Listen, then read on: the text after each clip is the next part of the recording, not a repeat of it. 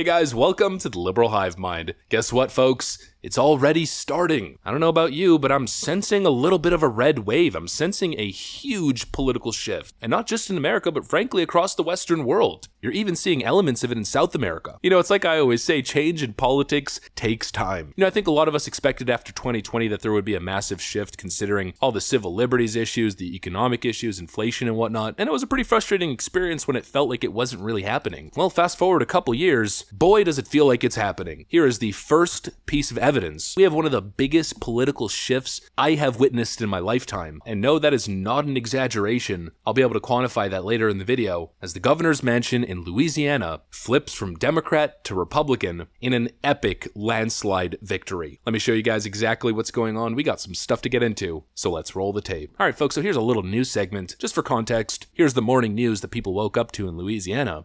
I thank you for joining us and welcome to the morning after election night. Throughout last night, we brought you the latest results and kept you up to date on all the candidates.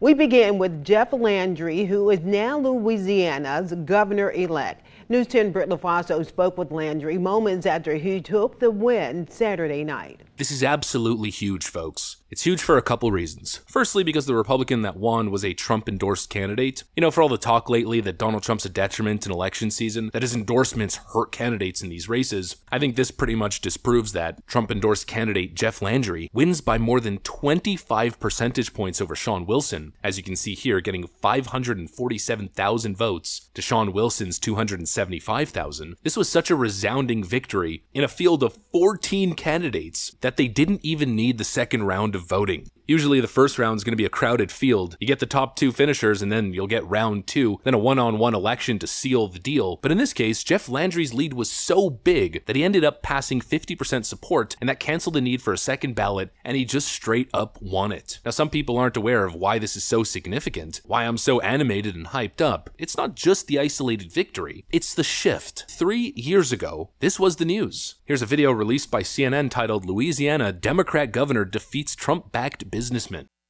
Now let's head to Louisiana. CNN projects Democratic Governor John Bel Edwards has narrowly won re-election, beating out Eddie Rispone, a Republican businessman backed by the president. CNN national correspondent Diane Gallagher is in Baton Rouge, Louisiana. So, uh, Diane, wondering what the reaction is there. And good morning.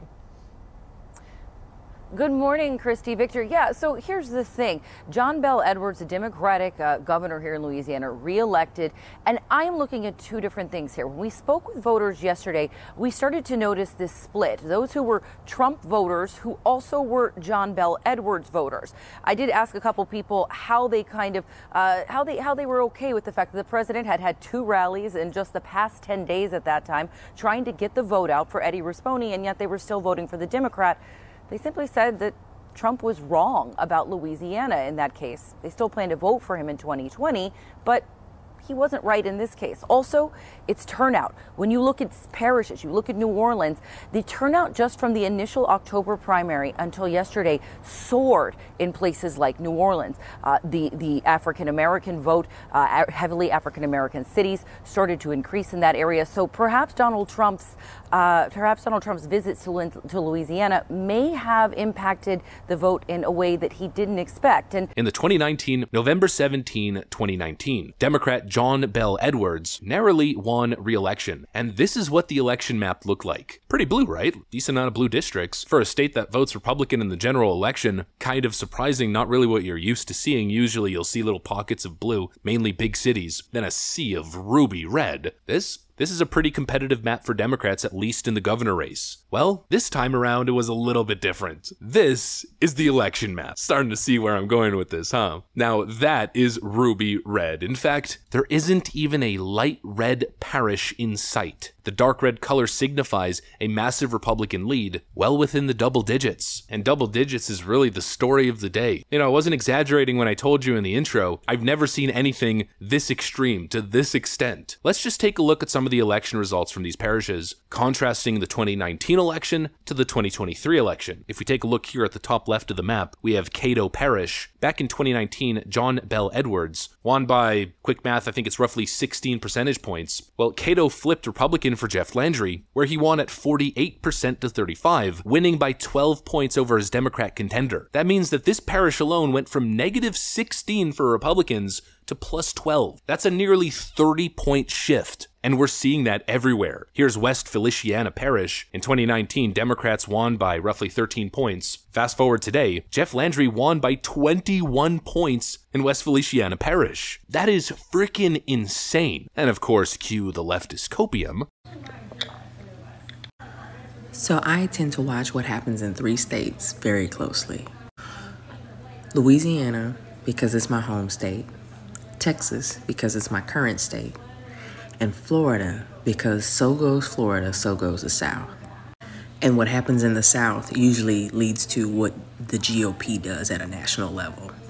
So when we see things like Louisiana reports low voter turnout, not gerrymandering, not voter suppression, but low voter turnout, it's really sad because sometimes people have warped memories. Remember this man, Bobby Jindal, when he was the governor of Louisiana? I was an undergrad.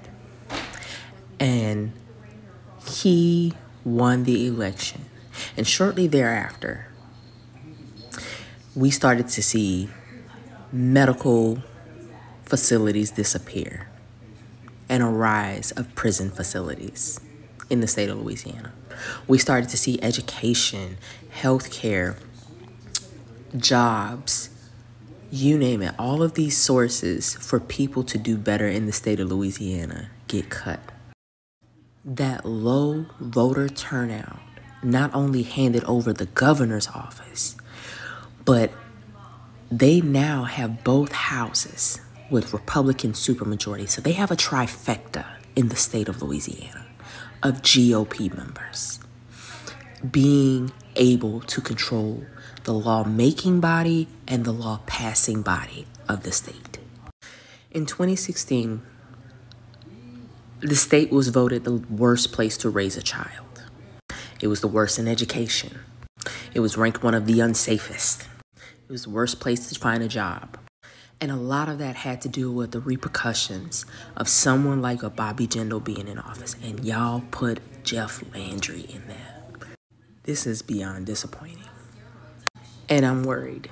Now, of course, ridiculous framing aside, at the moment Republicans take over, everything goes to crap. And I mean the audacity to mention education. Coming from a Democrat, I think I'm going to disregard everything I heard there. Anyways, the point I'm trying to make is I don't want to get distracted talking about policies or track records, because Governor elect Jeff Landry doesn't even have a track record yet. That conversation, in my view, is completely irrelevant. What is relevant, however, is what this young woman said at the start of her video, specifically the part about voter turnout. Democrats didn't show up to vote. That right there is what we've been talking about, friends. That is what wins and loses elections. And all the data we've been analyzing thus far has suggested that there's an enormous gap in voter enthusiasm between Democrats and Republicans. In other words, Republicans are extremely enthused to show up to the polls while Democrats aren't. This right here may be foreshadowing for what is to come. Republicans showed up in mass and Democrats stayed home. You know, people can cope about this election all they want. At the end of the day, you know what won? Messaging. Democrat messaging has been so awful the last two years. I mean, what have they done for the last two years in terms of their messaging? They've done nothing but pat themselves on the back, essentially praising themselves for a non existent economic recovery that never happened while people are suffering. And when they're not doing that, they're dividing the country, attacking MAGA Republicans, and talking about Trump nonstop. Trump hasn't been in office. He's literally not relevant. But Democrats have poured so much focus into looking in the past, coping, lying, pushing propaganda, basically anything but formulating a coherent campaign strategy and messaging strategy. Meanwhile, Republicans are focused border, immigration, inflation, economic issues, and it's obviously resonating. Folks, it's resonating everywhere. We are seeing shifts towards conservative politics across the Western world. The one example I keep bringing up is just north of the border in Canada, where we're seeing a very similar political shift. In the last roughly six months, the Canadian Liberal Party, headed by Justin Trudeau, went from tied with Canadian Conservatives to down 10 points in the polling aggregate. It's like I keep saying if left wing socialist dystopia Canada is shifting conservative by double digits, then most likely there's something to this trend. Florida's a red state, and it seems like the South is following, just as the woman in the video suggested. I guess at this point, the question is can it be stopped? I don't know. I don't think so. I hope not. I don't think it's naive of me to say this, but I'm hoping that we're moving towards a conservative age of greatness, one step at a time. And this right here, it's one of the early steps. A huge, resounding landslide victory. The DNC and the DCCC, I pretty much guarantee you, are panicking. That's what I got for you guys on this one, though. Hopefully you enjoyed it. If you did, make sure to leave a like and possibly subscribe to the channel. Thanks for watching, folks, and I'll see you on the next one.